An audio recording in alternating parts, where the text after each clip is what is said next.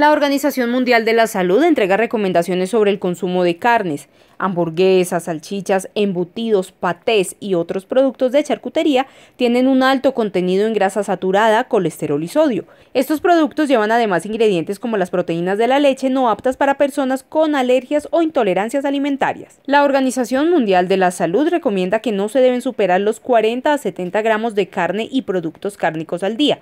La recomendación es que se limiten a dos o tres porciones de 100 gramos de lunes a domingo. Hay que poner atención y límites a la cantidad de carne que se consume, para bien de nuestra salud.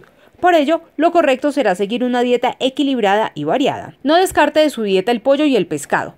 Trate de evitar o solo para momentos excepcionales las salchichas, los embutidos, los patés, las hamburguesas y toda carne procesada.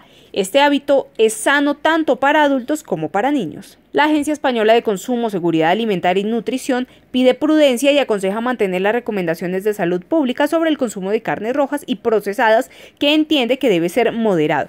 Según el informe de la Organización Mundial de la Salud, el consumo de 50 gramos diarios de carnes procesadas incrementa en un 18% el riesgo de sufrir cáncer de colon.